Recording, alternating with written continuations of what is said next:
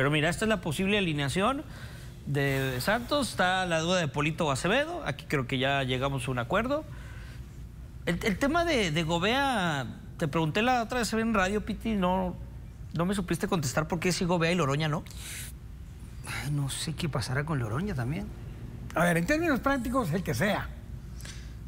Sí, pero creo que Gobea ya vimos que es limitado. Yo creo que Loroña sí está por encima de Gobea, ¿no? Hemos visto muchos partidos de Gobea. Gobea no es, un, no es, un, carrilero que te va a subir y que te va... Y el caso de Loroña, lo vimos jugar contra América, lo hizo muy bien. Lo poquitito que le hemos visto a Loroña creo que ha sido muy decente. Y sí, Gobea...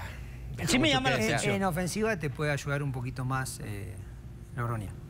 No sé si con Gobea quiere algo más fijo en zona defensiva.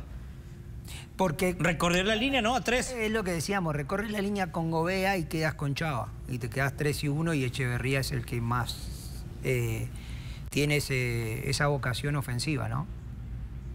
Es, sí, por eso es lo único que podíamos entender. la explicación que podías dar. Que se vaya Echeverría, ¿no? por derecha, sí, y igualmente Echeverría creo que tiene que pasar más. Si, es tu fue, si es tu banda fuerte, tiene que, tiene que generar más porque. Pero creo que se sigue generando por cuando tiene esos destellos por el lado de Medina.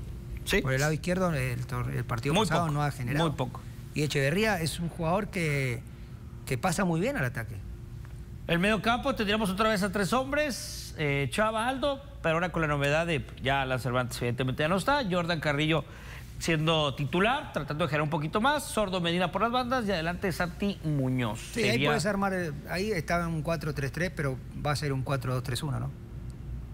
Sí. Jordan atrás de Santi. Jordan más adelante. Sí, Jordan moviéndose exactamente más al, centro.